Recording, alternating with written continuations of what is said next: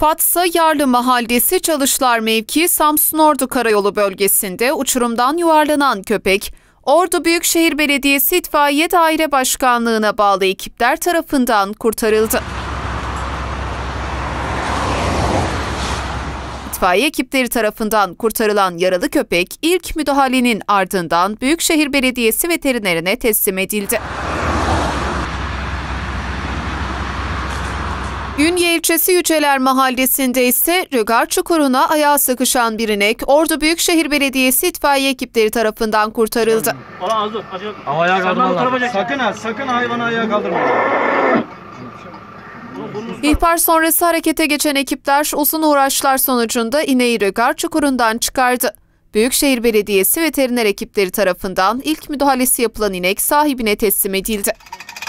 Al kafasından, sen kafasına geç. 我今天要怎么做？